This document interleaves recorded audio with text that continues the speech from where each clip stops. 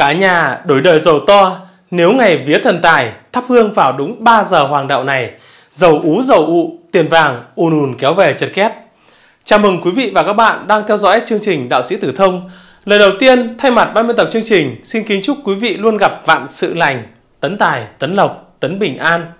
À quý vị thân mến, thắp hương nó vốn là một cái nét đẹp văn hóa ngàn đời của người Việt.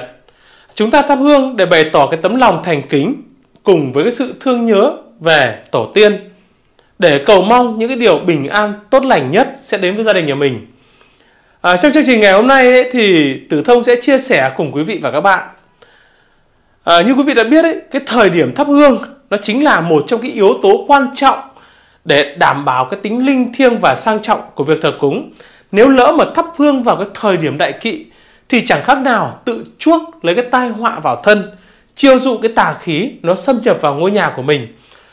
Vậy thì trong chương trình ngày hôm nay, Tử Thông sẽ chia sẻ cùng quý vị và các bạn về những cái giờ tốt để chúng ta tiến hành thắp hương trong ngày vía thần tài, ngày mùng 10 tháng riêng năm 2024.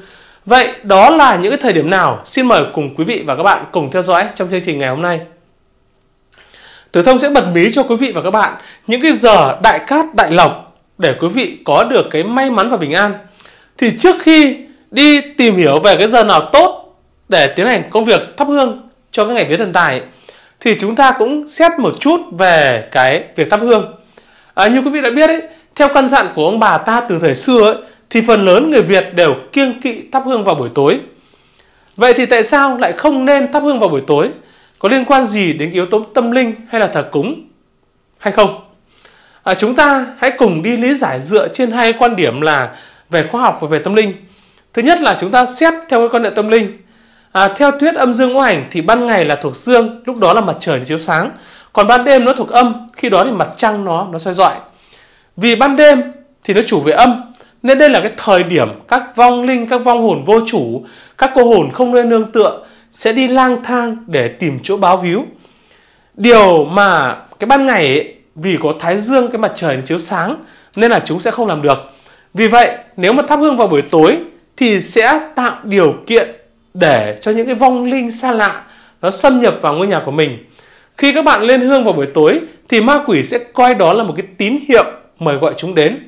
Lúc bấy giờ người trần mắt thịt thì sẽ không thể nào ngăn cản được những cái vong hồn vô chủ quấy nhiễu gia đình. Ma quỷ hay là các vong hồn vô chủ sẽ đòi được ngự trên ban thờ, đòi, đòi được thờ phụng và lớn át cái chân linh của gia tiên của dòng họ. Hậu quả là âm dương thì loạn lạc, tai ương nó sẽ kéo đến với gia đình à, nó sẽ dẫn dụ ma quỷ vào nhà đó. Thứ hai là xét theo cái cơ sở là khoa học và sức khỏe. À quý vị thân mến thì ngoài cái yếu tố tâm linh như trên ấy thì còn một cái nguyên nhân mà không nên thắp hương vào buổi tối đó là cái nguyên nhân về sức khỏe và cái an toàn cháy nổ. Quý vị thử hình dung à, sau khi mà thắp hương vào ban đêm ấy mọi các thành viên trong gia đình đều đã ngủ say nếu mà chẳng may tàn hương nó cháy dở nó rơi xuống bàn thờ hoặc là đồ thờ cúng xung quanh ấy thì sẽ bị bén lửa và gây ra cái hỏa hoạn đáng tiếc. Hơn nữa, ban đêm thì mọi người dễ ngủ say sẽ rất khó phát hiện ra lửa cháy để kịp thời mà dập tắt. Như vậy, vừa đảm bảo tính an toàn cháy nổ vừa tốt về mặt tâm linh thì gia đình chỉ nên thắp hương vào ban ngày. Quý vị nhớ nhé. Một câu hỏi đặt ra là vậy thì gia chủ nên thắp hương vào cái thời điểm nào trong ngày là tốt nhất? À, thưa quý vị, với những cái ý nghĩa tâm linh đặc biệt này thì cái thời gian thắp hương tốt nhất vào ban ngày mà quý vị cần phải ghi nhớ đó là vào mỗi buổi sáng sớm và mỗi buổi chiều tối. Bởi cái mùi hương của cái nén hương khi được thắp lên sẽ tạo nên cái bầu không khí ấm cúng, bình yên và vô cùng là thư giãn, thoải mái. Hơn thế nữa, cái việc khởi động ngày mới bằng cái việc thắp hương, thắp một nén hương cho ông bà, cho tổ tiên cũng là một cách để giúp gì các bạn có cái năng lượng được dồi dào hơn, tràn đầy cái sức sống hơn và ngày càng trở nên tươi mới hơn. Đó. Bên cạnh đó thì cũng có rất nhiều gia chủ thắc mắc rằng liệu có nên thắp hương thường xuyên hàng ngày hay không? À, à, thưa quý vị, theo quan niệm thờ cúng hiện nay thì thắp hương trên ban thờ gia tiên à, là công việc quý vị nên làm. À, tuy nhiên nếu mà gia chủ bận bịu và không thể duy trì được cái thói quen hàng ngày thì quý vị cũng chỉ cần phải thắp hương vào những ngày rằm mùng 1 lễ Tết Dỗ Chạp, ngày vía thần tài như vậy là đủ rồi. À, quý vị thắp hương với một cái lễ mọn dâng lên với ông bà với tổ tiên với thần tài để thể hiện cái tấm lòng thành kính của mình. Ngược lại, còn nếu có điều kiện về thời gian thì các gia chủ vẫn nên thắp hương hàng ngày là tốt nhất. Bởi cái việc thắp hương lên ban thờ sẽ làm cho cái không gian thờ cúng nó trở nên ấm cúng hơn, lòng người nó được nhẹ nhàng và an yên hơn. Gia chủ cũng nên lưu ý chỉ thắp một nén hương bởi theo quan niệm thờ cúng trong dân gian ấy, số nén hương được thắp lên là một trong những cái yếu tố mang cái ý nghĩa tâm linh cực kỳ là sâu sắc. Theo đó, thắp một nén hương là bày tỏ cái tấm lòng thành kính, biết ơn đối với ông bà tổ tiên và các vị thần Phật. Đồng thời, khi thắp hương các bạn cũng cần phải thắp bằng hai tay, không nên thể hiện cái thái độ bất kính, vô lễ đối với thần Phật và gia tiên. À, cùng với đó, mỗi khi mà thắp hương thì gia chủ cũng cần phải đặc biệt lưu ý về hai nguyên tắc sau đây để giữ cho bản thân và gia đình luôn được bình an may mắn. Thứ nhất, mỗi lần thắp hương trước bàn thờ tổ tiên, các bạn cần phải dâng hương bằng cả cái tấm lòng thành kính, đồng thời cần phải có sự chánh niệm về cái việc làm của bản thân. Cắm nén hương bằng cả hai tay, Đấy, một cách là ngay thẳng, thể hiện cái tấm lòng ngay thẳng, dù có bão táp, dù có phong ba cũng không đổi rời. Cái nén hương nó tỏa mùi hương thơm, nó tượng trưng cho cái sợi dây máu thịt kết nối giữa hai thế giới âm và dương kết nối giữa gì người trần và vong linh của người đã mất à, với người sống trên trần gian à, thứ hai là nếu mà thắp hương ở các địa điểm như là đình đền miếu phủ chùa triển ấy, thì quý vị cũng cần phải có bài văn khấn để mời gọi đúng vong của người mình cầu về. Để mà gì? Hiến hưởng và chứng giám. Bởi nếu thắp hương tại nơi công cộng ấy, sẽ có rất nhiều cái vong linh nó kéo đến. Và khi không có cái bài văn khấn tức là cái lễ vật đó là vô chủ các vong linh nào cũng có thể là nhận được đúng không ạ? Bên cạnh cái việc dâng hương bằng cái lời cầu khấn đã thành khẩn thì người cầu cúng cũng cần phải có sự chánh niệm. Thứ ba là những điều gia chủ cần phải tuyệt đối kiêng kỵ khi mà thắp hương. À, ban đầu khi châm hương ấy, thì quý vị nếu mà thấy lửa cháy to ấy, thì cũng không được dùng miệng để thổi tắt mà phải gì? Cầm hương vẩy nhẹ lên thì hương sẽ tự tắt. À, quý vị cũng nên thắp hương thắp số lẻ như là một ba năm hay là bảy quê hương. Không nên thắp số chẵn nhá. Khi thắp hương nhất thiết phải là có lời cầu khấn không cần các bạn phải thuộc lỏng bài văn khấn dài dòng. Nếu mà thắp hương ấy, thì các bạn cũng cần phải ghi ngày, tháng, năm, lý do lên hương rồi mời ra tiên các vị thần Phật cũng như là các vong linh về hiến hưởng. Nếu thắp hương tại đình đền miếu phủ chùa chiền thì cần phải có cái bài văn cúng cụ thể, mời vong linh của mình cầu khấn về. Khi mà khấn cũng cần phải cầm hương bằng cả hai tay với cái tấm lòng thành kính, đấy, cố gắng cắm thẳng hương vào bát hương, tránh que hương bị siêu vẹo siêu vẹo hay là gì, hay bị đổ nếu mà hương trong bát hương đang cháy mà tắt giữa chừng thì quý vị cũng không nên lo lắng không cần rút ra.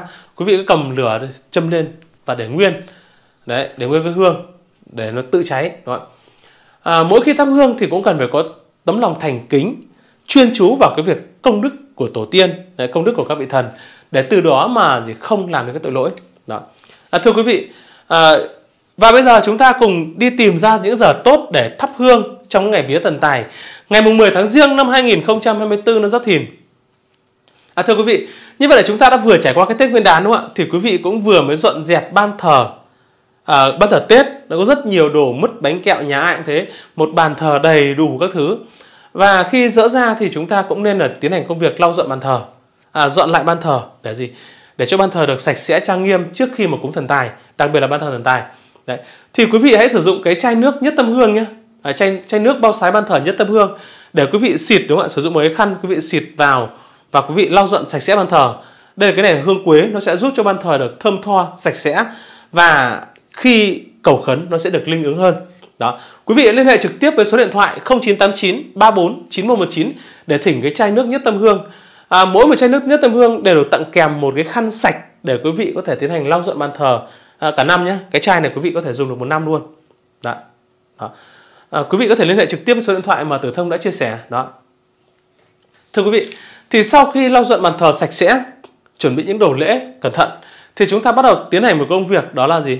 Chọn ra giờ tốt để chúng ta tiến hành công việc thắp hương. Thì để chọn ra giờ tốt thắp hương thì chúng ta sẽ sử dụng cái tài liệu là ngày tốt toàn thư. Để chọn ra giờ tốt thắp hương trong cái ngày vía thần tài ngày mùng 10 tháng riêng đó. À, quý vị hãy mở trang 127 nhé. 127 nó là cái cách chọn về nó nói về cách chọn giờ tốt đấy trang 127 đây trang 127 nó nói về cách chọn giờ tốt đó. thì chúng ta biết là ngày mùng 10 ngày vía thần tài nó là sẽ là ngày nó là ngày quý sửu đúng không ạ? Ngày quý sửu nhá thì nó ở trang 140 nhé quý vị mở trang 140 ra. Đấy, tử thông sẽ cùng quý vị và các bạn tìm ra những giờ tốt để tiến hành công việc thắp hương trong ngày vía thần tài ngày mùng 10 tháng riêng năm 2024 à, năm Giáp Thìn. Thì đầu tiên trước khi xét ra giờ tốt thì chúng ta phân tích một chút về cát hung của ngày đã. Thì chúng ta biết cái ngày vía thần tài ngày mùng 10 tháng riêng ấy nó sẽ rơi vào ngày 19 tháng 2 năm 2024 nó Giáp Thìn nó chính là ngày gì? Nó là ngày Quý Sửu. Ngày Quý Sửu chúng ta có Quý Thủy đúng không ạ? Sửu thổ, thủy thổ là xung khắc. Như vậy là đây là ngày gì? Ngày hung nhật, nó là ngày phạt nhật đấy. Nạp âm của ngày nó là tang đố mộc, nó kỵ cái tuổi là đinh mùi và cái tuổi tân mùi. À, ngày thuộc hành mộc thì khắc hành thổ, đặc biệt các tuổi là tân mùi, kỷ dậu, đinh tỵ, nó thuộc hành thổ nhưng không sợ bị mộc khắc. Ngày xỉu thì nó lục hợp với tý đúng không ạ? Lục hợp với tý, tăng hợp với tỵ, tỵ và dậu trở thành kim cục. À, xỉu thì xung với mùi hình tuất, hại ngọn, phá thìn, tuyệt mùi. Tam sát kỵ cái tuổi là dần, ngọ, tuất. Ngày hôm nay thì có trực là trực bế và sao nguy là một châu sao hung trong bộ nhị thập bát tú. Cái ngày 19 tháng 2 tức là ngày vía thần tài này thì nó đúng vào cái ngày mà của tiết khí vũ thủy nhá. Vậy đây là cái ngày 19 ngày về thân tài nó thuộc về tiết tiết vũ thủy nhá, không phải tiết thanh minh nhá. À, các các thần trong ngày thì có như là gì? Có minh đường, có thiên ân, có thất thánh, có tục thế, có đại hồng sang. Các hung thần trong ngày thì nó có à, có bát chuyên này, có bạch hổ nhập trung cung, à, cửu khổ bất cùng, có hiệp tỷ, hoang vu, huyết chi, huyết kỵ, à, hình ngục, đấy, mộ khố sát, nguyệt hư, nguyệt sát, ngũ hư, phạt nhật, quy kỵ, thổ phù, tiểu không vong, tội hình, à, tứ quý bát tọa, xúc thủy long. Đó là những cái cắt hung trong ngày. Dựa vào cắt hung trong ngày bây giờ chúng ta sẽ sử dụng cái tài liệu là ngày tốt toàn thư nhé để chúng ta tìm ra những cái giờ tốt nhất. À, quý vị mở trang 140 nhé để chúng ta cùng phân tích về những cái giờ trong ngày. Quý vị có thể tham khảo thêm quyển sách Ngày tốt toàn thư bằng cách liên hệ trực tiếp với số điện thoại 0989 34 9119 để thỉnh quyển sách Ngày tốt toàn thư nhé. Tự xem ngày tốt cho mình, mà không phải nhờ bất kỳ một ông thầy nào. Đó. Thì trong này cũng có, đã có hướng dẫn đầy đủ, kèm theo cái bộ video hướng dẫn về xem ngày tốt của Tử Thông ấy, trên kênh tự đạo sĩ Tử Thông Official ấy. Quý vị có thể là tham khảo thêm vào đó cũng như là gì có một cái tài liệu này để quý vị có thể tự xem ngày cho mình nhé. Thì đầu tiên, chúng ta cùng xét về cái ngày vía thần tài, nó là ngày mùng 10 tháng riêng, là quý sửu đó ngày quý sửu thì đầu tiên chúng ta có giờ đầu tiên là giờ tí giờ tí giờ tí nó từ 23 giờ đến 1 giờ đó, nó là giờ nhâm tí. Giờ nhâm tí thì có các sao như là có thiên hình có thiên cầu hạ thực có triệt lộ không vong có thổ tinh có cửu xú có la thiên đại tiến có ngũ phù nhật lộc và lục hợp. Như vậy là gì? Đây là một cái ngày xấu chúng ta dùng nhé giờ xấu chúng ta dùng. Tiếp theo chúng ta xét đến giờ thứ hai thì nó là giờ xỉu. Từ 1 giờ đến 3 giờ thì nó là giờ nó là giờ quý xỉu. Giờ quý xỉu thì có gì? Có chu tước, có la hầu, có triệt lộ không vong, có cổ mộ sát, có tứ đại các thời, có thời kiến, đấy, có tỷ kiên. Nó cũng là một cái giờ xấu mà chúng ta không dùng. Tiếp đến là giờ dần. À, giờ dần thì nó có các sao như là có kim quỹ, kim quỹ hoàng đạo ấy, có kim tinh, có tuần chu không vong, có kiếp sát, có thiên tặc nó cũng là một khung giờ mà chúng ta cũng cần phải xem xét. Tiếp đến chúng ta xét đến giờ mão. Giờ mão là 5 đến 7 giờ. 5 đến 7 giờ thì nó là giờ ất mão giờ ất mão thì chúng ta có gì có thiên đức hoàng đạo có thiên ất quý nhân có phúc tinh quý nhân có thái dương có trường sinh có tuần chu không vong Đấy.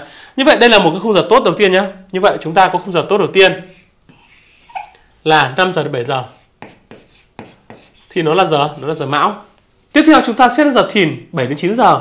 7 đến 9 giờ thì nó là giờ bính thìn đúng không ạ? Nó có bạch hổ, có hà khôi, có hỏa tinh, có thiên binh, có thiên quan quý nhân, có tứ đại cát thời, có hỷ thần, có minh tinh. Đó. Nói chung cái 7 giờ đến 9 giờ thì nó cũng là một khung giờ trung bình nhé. Nó là khung giờ trung bình thì quý vị có thể lựa chọn được nhé. Đây giờ trung bình tôi ghi mực xanh hai này. Từ 7 giờ đến 9 giờ. Thì nó là giờ trung bình nó cũng không quá xấu Đấy, nó vẫn có thể tiến hành thắp hương được. Đó. Tiếp theo là chúng ta xét giờ tỵ từ 9 đến 11 giờ. 9 11 giờ thì nó có các sao như là có ngọc đường uh, ngọc đường hoàng đạo đúng không ạ? Có thiên ất quý nhân, có tam hợp, có thiên xá, có thủy tinh. À, như vậy là gì? Trong cái giờ xỉu này được bộ tam hợp tị dậu xỉu lại được có gì? Nó là giờ hoàng đạo, ngọc đường hoàng đạo nữa. Nên là đây cũng là một khung giờ khá tốt. 3 nó là gì? 9 đến 11 giờ. Nó là giờ tị, rất là tốt. Tiếp theo chúng ta xét đến 11 đến 13 giờ nó là giờ ngọ à, giờ ngọ thì nó là giờ mậu ngọ đấy. Giờ mậu ngọ thì có thiên lao hắc đạo có thời hại có lục mậu có lôi binh có cửu số có quý đăng thiên môn có thái âm ngũ hợp à, có gì tham lang. Đây cũng là một khung giờ xấu nhưng mà quý vị không nên tiến hành thắp hương trong khung giờ này. Đó. tiếp theo là chúng ta xét đến giờ mùi. Giờ mùi từ 13 đến 15 giờ nó là giờ kỷ mùi. Nó có huyền vũ hắc đạo có ngũ bất ngộ có thời phá có nhật mộ có tứ đại các thời, có đường phù. Nhưng mà gì? Tóm lại là xỉu, mùi là sung, không chơi. Tiếp đến là chúng ta xét đến giờ thân. Là từ 15 giờ đến 17 giờ. Nó là giờ canh thân. Giờ canh thân thì có tư mệnh hoàng đạo, có quý đăng thiên môn, có quốc ấn, có tả phụ, có ngũ quỷ cái đô. Như vậy giờ thân cũng được gọi là một khung giờ cũng là tốt nhá. Đó là khung giờ thứ tư. Từ 15 đến 17 giờ. Tiếp theo chúng ta xét đến giờ dậu giờ dậu thì từ 17 giờ đến 19 giờ ấy, đó là giờ tân dậu. Giờ tân dậu thì có câu trần có ngũ quỷ có thổ tinh có cửu xú. Mặc dù nó có tam hợp nhưng mà nó có rất nhiều sao xấu nên là giờ này quý vị cũng không nên dùng. Tiếp theo chúng ta xét đến giờ tuất từ 19 giờ đến 21 giờ đúng không ạ? Giờ tuất thì có thanh long hoàng đạo có gì? Thiên quan quý nhân có tứ đại các thời có vũ khúc có la hầu có thời hình có thiên cương. Nhưng mà khung giờ này sau 19 giờ thì quý vị cũng không nên thắp hương thần tài quý vị tốt nhất nên thắp buổi sáng. À, quý vị thân mến tiếp theo là đến xem giờ hợi đúng không ạ? Giờ hợi thì quý vị có thể có minh đường à, có đế vượng có dịch mã. Nói chung giờ dạ hợi cũng là khung giờ khá tốt đấy. Nhưng mà nó cũng thuộc giờ. Có khuya nên chúng ta cũng sẽ không cúng thần tài vào giờ này. Đó. Đó đó là những cái khung giờ tốt mà để chúng ta tiến hành công việc là cúng ngày vía thần tài thắp hương ngày vía thần tài. Đó thì quý vị có thể tham khảo thêm cái quyển sách ngày tốt toàn thư nhé để tìm ra cho mình những khung giờ tốt nhất ngày tốt nhất để quý vị làm mọi việc cho được hanh thông và thuận lợi. Đó. Quý vị liên hệ trực tiếp với số điện thoại 0989 34 9119 để thỉnh cái quyển sách ngày tốt toàn thư à, tự xem ngày tốt cũng như là tự chọn ra cho mình những giờ tốt nhất để quý vị có thể chủ động hơn trong cái việc là chọn ra ngày giờ. Đó. Thưa quý vị như vậy là gì? Trong cái ngày vía thần tài ngày mùng 10 tháng riêng ngày quý sửu ấy chúng ta sẽ có 3 khung giờ tốt để chúng ta tiến hành công việc thắp hương về vía thần tài. Một là gì? 5 đến 7 giờ là giờ mão. Hai là 7 9 đến 11 giờ là giờ tỵ. Và ba là từ 15 đến 17 giờ là giờ thân. Đó. thì ngoài ra chúng ta cũng có một khung giờ cũng tiến hành thắp hương được tức là 7 đến 9 giờ. Thì nó cũng là giờ cát trung bình nó cũng không bị xấu nhé không xấu nhé nó là giờ chúng quý vị có thể tiến hành công việc được. Đó. À, như vậy là gì? À, tổng kết lại là trong cái ngày mùng 10 tháng riêng chúng ta sẽ có 4 cái giờ để thắp hương một là 5 đến 7 giờ giờ mão hai là 7 đến 9 giờ là giờ thìn giờ tốt thứ ba là 9 đến 11 giờ là giờ tỵ và giờ tốt thứ tư là 15 đến 17 giờ là giờ thân. Đó là 4 khung giờ. Trong đó có 3 giờ tốt, đó 3 giờ tốt nhất để thắp hương. Một là 5 đến 7 giờ, hai là 9 đến 11 giờ. Giờ tốt thứ ba là 15 đến 17 giờ. Đó. À, rất cảm ơn quý vị và các bạn đã quan tâm theo dõi. À, hy vọng những cái thông tin mà Tử Thông chia sẻ sẽ giúp ích được phần nào cho quý vị và các bạn có thể tiến hành công việc thắp hương, chọn ra cho mình những giờ tốt để thắp hương à, cái trong ngày vía thần tài. Đó. À, Quý vị có thể chủ động chọn ra cho mình những khung giờ tốt để tiến hành mọi việc cho được thuận lợi và may mắn. Giúp cho quý vị cầu tài đắc tài, cầu lộc đắc lộc, cầu bình an đắc bình an. À, rất cảm ơn quý vị và các bạn đã quan tâm theo dõi.